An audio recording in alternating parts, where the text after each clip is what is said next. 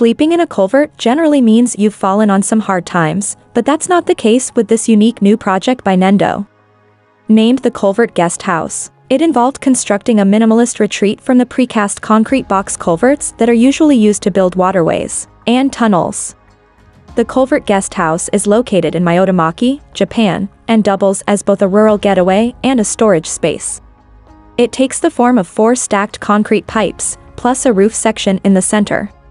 The interior is divided into two storage rooms, more will be added to the site in the future, as storage needs grow, plus the living area.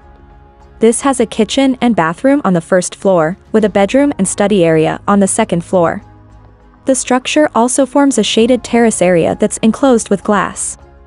The generous glazing throughout the building helps fill the interior with light, though the compact dimensions of some of its internal spaces could give claustrophobes some issues.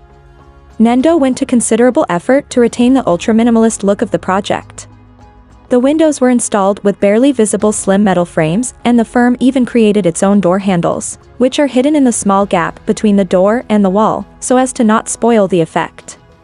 The entire construction process sounds quite involved too. Nendo joined together a total of 63 sections of box culvert using wires to lend the project a uniform appearance, and hopefully ensure no water leakage when it rains.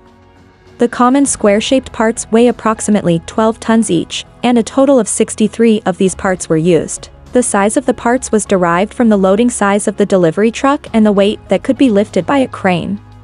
The 45-degree reinforcement at the entry corner, which is also found in general box culverts, serves as a brace and enhances earthquake resistance. By connecting these parts, a slender, tunnel-shaped space with an internal dimension of approximately 2 by 2.3 meters was created. 14 wires were used to connect each tunnel and care was taken to apply uniform tension to each wire at all times. The work involved gradually tightening the wires over time until a tension of 46 tons was finally applied to each. If you enjoyed this video, don't forget to like and subscribe.